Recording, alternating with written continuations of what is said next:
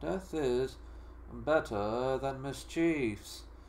Hence, soon he dies, he is saved from the mischiefs of the world. As per other hadith, the Messenger of Allah, peace and blessings of Allah be upon him, has denoted that death is a gift for the believer.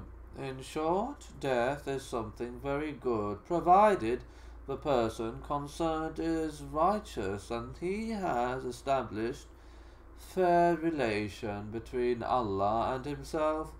These people who pass their lives doing good deeds prefer death to the worldly life and want to leave for the permanent life of peace and comfort from this world of sorrows and sufferings.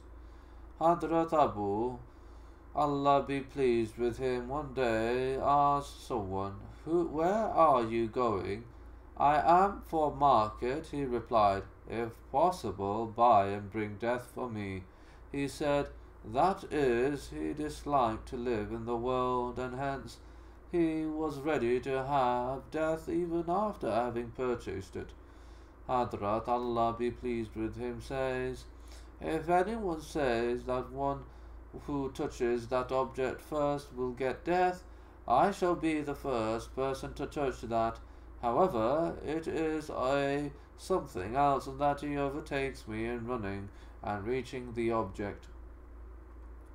Hadrat Anas, Allah be pleased with him, reports that the Messenger of Allah, peace and blessings of Allah be upon him, said, Death death of a man is like the birth of a child.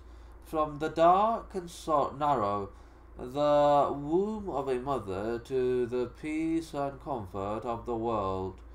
Allahumma Rabbi bil Rab, hab, Allahumma Habbi bil ma uta ilayya wa ila man yalamu ana sayyidina محمدا صلى الله تعالى عليه وسلم عبدك ورسولك